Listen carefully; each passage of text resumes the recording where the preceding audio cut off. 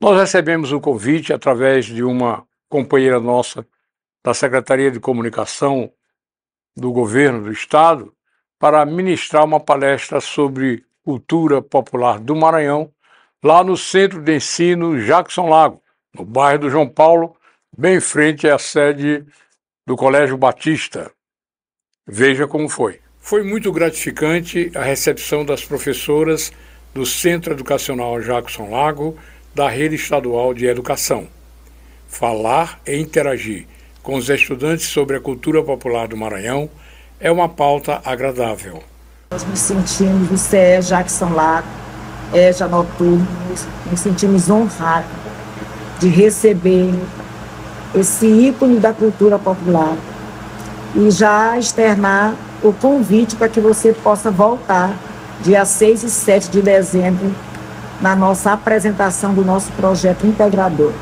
Seja bem-vindo e muito obrigado pela sua presença.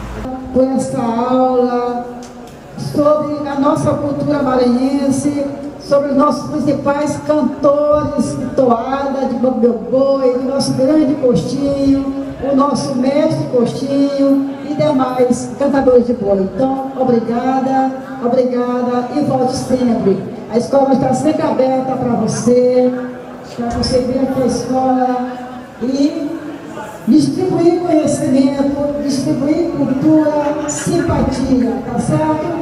E agora ainda vai continuar conosco ainda, porque vai ter um podcast.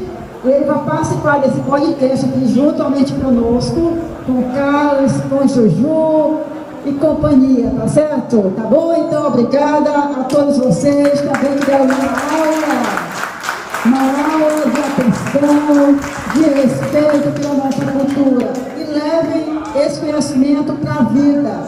E hoje nós temos o privilégio de trazer uma pessoa que sempre lutou pela cultura. Né? Ele tem vastos é, trabalhos em prol da cultura, que é o Zé Raimundo.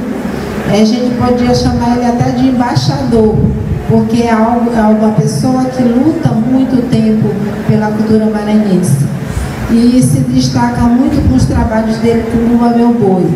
Inclusive, a música de Humberto que ele é, levou para Alcione, que ela canta hoje de forma belíssima, que é Maranhão, meu tesouro no torrão, ela canta porque Zé Raimundo passou a música para ela de Humberto.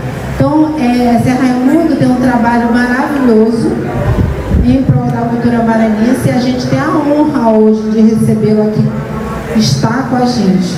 Isso aqui é só um pouquinho que eu falei, porque ele tem ele vai falar agora para vocês o quanto trabalho ele tem em prol dessa, da cultura do nosso estado.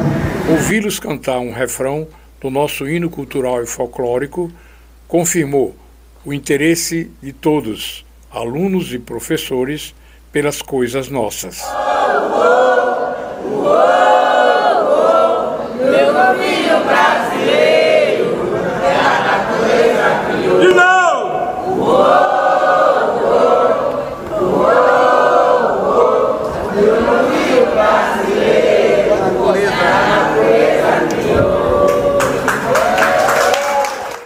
Muito bem, nós tivemos no Centro de Ensino Jackson Lago, a convite da Neurimar Almeida, muito amiga das professoras daquela unidade escolar, e nós ficamos de voltar nos dias 6 e 7 de dezembro, nesta semana, para uma nova palestra cultural com alunos dos turnos matutino e vespertino. Nós agradecemos essa deferência que nos concedeu não só a diretoria do Centro de Ensino Jackson Lago, os demais professores, funcionários e os próprios estudantes a quem nós devotamos uma gratidão muito grande.